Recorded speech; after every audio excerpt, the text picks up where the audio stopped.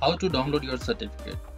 So to download your certificate open a browser and type rxdp.in slash sfip and this page will open. Just click over here and type your email id